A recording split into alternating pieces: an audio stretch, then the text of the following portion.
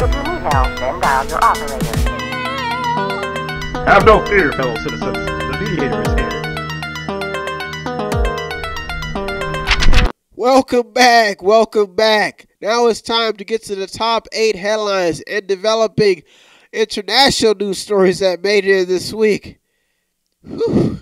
Mediation can be tough, so let's waste no time. Let's get to it. Story number one The coronavirus may be altering the course of America's future and changing the status quo if it hasn't already. Some reports say that the U.S. may need more than a $2 trillion stimulus package to keep from treading water as the ongoing struggle to defeat the coronavirus continues. Another headline Two big world powers, the US and China, may now have the worst relationship ever now, according to a report by Vox, if they didn't have a bad relationship already. A Florida pastor held services at his megachurch and was arrested because he violated a state order to comply with social distancing orders by the state. And it goes on, the list goes on. After having rehearsal, two Washington choir members are dead and 45 sick due to the coronavirus. So people are being stubborn and trying to worship instead of following state uh, orders. List goes on and on. Students are losing out on some valuable education time. Now, this is a report says 15,000 LA high school students have reportedly been absent in some of their online classes. Students, kids are skipping out, and maybe due to parents, you never know. The traveling industry is also taking a big hit as they have had to face numerous amounts of restrictions, which is hindering some people from traveling. Macy's lays off 130,000 workers in this battle with the coronavirus. It is changing things. Amazon workers in New York reportedly threatened a walkout. They're going to walk off the job if the building is not clean, if it hasn't been already. This headline made it in. An Elton John living room concert attracted almost 9 million people. Even the, in, the entertainment industry is having to adjust. People are watching things on TV and tuning in to raise money. Due to the coronavirus, House Democrats call for the release of some prisoners. So that means some people, some sex offenders, prison pe- people have been locked up. Some of them may be getting released. Now, even in sports, the WNBA will be holding a virtual draft this season because of the coronavirus. As you can see, story number one, that's why it made it to the top eight. A lot of things are changing here in America and not business as usual as the stories about the coronavirus effect on this country continue to surface. Story number two there are still two sides of the coin when it comes to the coronavirus effect.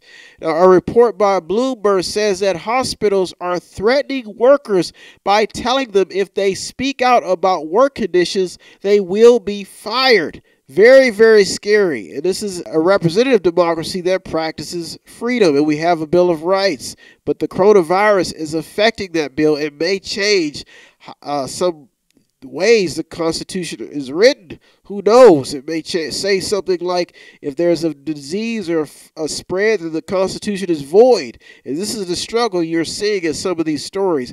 Amazon worker fired in Staten Island for wanting coronavirus protection on the job.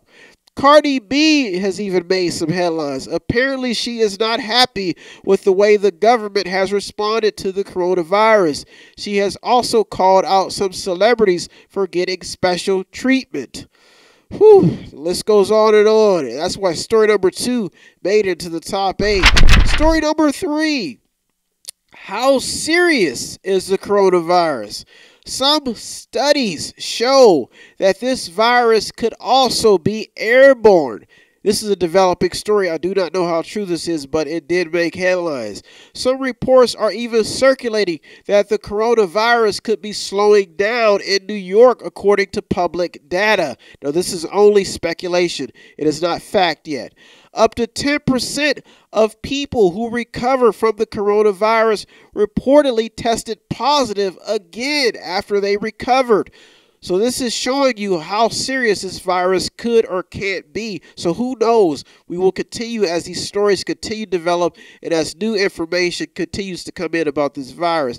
As the world fights the coronavirus, some reports say that China is going back to work, apparently closing itself off. So after they reported the virus and they starting to defeat it, they're going back to work as usual while everybody else is fighting. So this could be a game changer in the globe on the global chessboard. Now, professionals, what they know about the virus rep- reportedly keeps changing, according to a report by USA Today. So even what professionals think they have figured out seems to keep changing. So this is an evolving story, a developing big story that keeps changing. How serious is this virus?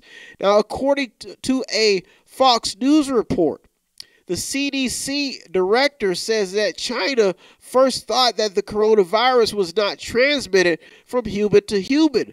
So, this could be why a lot of citizens are using their own judgment and getting so much polarizing information. It's changing, it's, it's, it's altering how people are responding, and this could be why most people are not taking this virus that serious. Now, it turns out that comparing coronavirus data in other countries can be misleading compared to the United States. This is really, really confusing a lot of people. Testing with anti malaria drug is showing to be effective in treating the coronavirus, according to a Kansas doctor. So, as you can see, this virus in story number three is still developing, but it kind of gets you to realize why things are so confusing and not why people may not be taking this virus that seriously. What leads us into story number four. Story number four. Many still do not think that the coronavirus is as bad as it seems. And if you checked out story number three, you can understand why. UK police had to break up a party with dozens of people. The report claims that they even had a karaoke machine. Even in the midst of all this coronavirus talk, people are still not taking this virus seriously because they don't believe it's that bad. Doctors say that even in this outbreak, people are still stealing from hospitals. They're stealing hospital supplies. So you can see that some people either just do not take this virus seriously, they think it's a joke, and they're taking some of their pain out on the medical industry.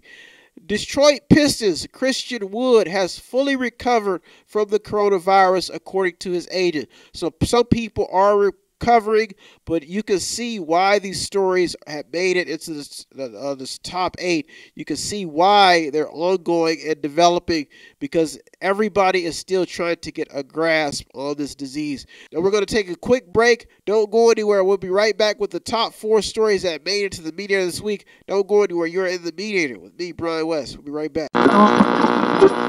Welcome back. Welcome back. Whew. Mediation can be tough but we're almost there. Let's get to the top four headlines and developing news stories, international news stories that made it this week. Let's waste no time. Let's get to it. Story number five the coronavirus is hitting the economy really, really hard. Now, some economic activists are very, very concerned, that includes economists, about the U.S. debt in the midst of the government passing a stimulus package. Now, the reason why I say activists is because some of these people are not economists, but they're actually activists, and this also has economists concerned as well. It's about the debt. Now, there are reports that some may be eyeing a rent strike as well due to the coronavirus. So these are all people who are concerned about the flow of the economy, and some people who are in the middle of the fight. Some people may be planning some rent strikes because they can't pay their rent. Now, jobless claims have skyrocketed due to the state ordering shutdowns and also regulations that they've put in place. Now, they, they've put these things in place to contain the virus, but many are concerned about the effect and how it's hitting the economy. Now, keep in mind that a lack of jobs also equals a lack of people who are insured. That's health insurance. People can't if you don't have a job, you can't be insured or you cannot be can't afford insurance. So you can see how this is hitting the economy and it's having a ripple effect. Now the National Restaurant Association says that 11% of restaurants could close for good due to this the fighting of this virus and regulations put in place. Now, some economists think once this is all over, things will be boosted back up. But right now, a lot of people are biting their their nails because they don't know how this is going to affect. Now, there's not enough policies because this has never really happened before uh, in this type of economy. So there's not enough policies to protect the economy in the midst of being shut down, inactive. Now, some parts of the economy may be seeing gains, but some parts are seeing losses. So this is why most people shouldn't panic. Some there are some places to invest. Now, last week, Lowe's was set to hire 30,000 positions while also giving employees an $80 million bonus because of the coronavirus. So you can see why story number five is in the top four. It really, really shows you how this economic seesaw and this teeter totter that we're on is, is going is happening right in front of us. Story number six even in lockdown mode, there is still crime. People are still committing crimes. Some reports have shown a slight spike in domestic violence cases as well. Home abuse, that's, that's, that's gone up. Two police officers were wounded in a Phoenix shooting, and a commander was killed, according to a report by USA Today. Now, apparently, the coronavirus has also caused a rise in drug and alcohol abuse cases, according to circulating reports. Now, these are ongoing reports that are, that are making news. The FBI has arrested actor Keith Middlebrook for touting a fake coronavirus cure. Cure. This, I've seen stories like this and, multiple headlines. Mexico is now cracking down on Americans crossing the border to get into Me- Mexico. Now, before it was Mexicans trying to get into America. Whew, mediation can be tough. Now, Google reportedly seeing an uptick in phishing websites in the midst of uh, emerging virus of this emerging virus pandemic. That means people are trying to even get information in the midst of all this chaos. Criminals just do not sleep. FBI reports that a Missouri man was planning to bomb a coronavirus hospital. Arrests in Spain almost 900 people violating their stay at home orders. You can see these stories are heating up. That's why story number six almost made it to the top two. Even in lockdown mode, people are still committing crime. Story number seven, and the top two international stories that made it in this week, stories that you may want to keep an eye on. Big time stories. Many healthcare workers are not satisfied with the way things are being handled. Now, this is a big report. They said for nearly two decades, the call for more ventilators by federal agencies were apparently ignored. Some of this hassle and panic could have been prevented. Another report by ProPublica shows that some internal emails reveal a chaotic and unstable CDC, which could reveal why there was such a slow response to the coronavirus. So, in story number seven, there are some emerging facts that says some of this panic could have been prevented. This is all. This is why story number seven is so important because new reports are emerging and healthcare workers are really, really not happy. Story number eight, in the top story headline that made it to the media this week developing stories, international stories. Multiple reports have surfaced about how some Americans are in denial about Trump's flaws in office. Here's some headlines. It's very evident that Americans are divided and polarized when it comes to political views, but there are many circulating reports about how Trump supporters don't see things from the status quo. That means they don't see things for what they really are. Some of them say they do, some of them say they don't. There, there's uh, some reports are saying that this is due to what they see when it comes to this administration. There was a big, big article uh, pointing this out about how some people are just falling for Trump's con game. They say he says one thing on the news and then he says another thing behind the camera, but there's two sides of this coin. Now, many reports focus on how many times this president has given a sense of false hopes and how many times he has lied at the podium in front of the media. Now, Trump supporters say that the media is not giving him a fair shake, but many onlookers say that the Trump curtain can't be moved and he has conned his supporters to the point that they are in denial. Now, this is a, a big developing story. The report is still, this is still developing due to the rage that is hidden inside of many Americans when it comes to this administration and how this country is being run. Some people have just given up. In the midst of all this, Trump's approval rating has hit a new high. This is even in the midst of madness and polarization. Think about that. Now, a poll was also taken last week that showed that Americans do not approve of the news media's response to the coronavirus. So there are many sides of the coin here. Some people don't like the way Trump is handling. Some people don't like the way the media is. Now you can see why there's so much confusion in the United States of America, which is far from united right now. Now, it goes on. An article by Politico labels Trump as an authoritarian weak man, revealing this is revealing the the separation, the division amongst intellectuals, academics, and average voters when it comes to this president. This could be why you see so much confusion in this fight if we could all just get on the same page. Now, a week ago, the World Health Organization praised Trump's leadership in the response to this virus. Now, do you see why there is so much confusion and why story number eight made it to the top this week? Well, I want to thank you so much for tuning in. As usual, I'd like to thank all the news outlets, the journalists, and the people on the front lines that keep us informed. You deserve all the credit. I'm just a mediator. As usual, if you want to show us some support, go to our website, buy something, click on something, watch something, read something, or just sponsor a program. I am out here. It's been a long week. Stay safe, listen to the professionals, and please, please try not to get confused.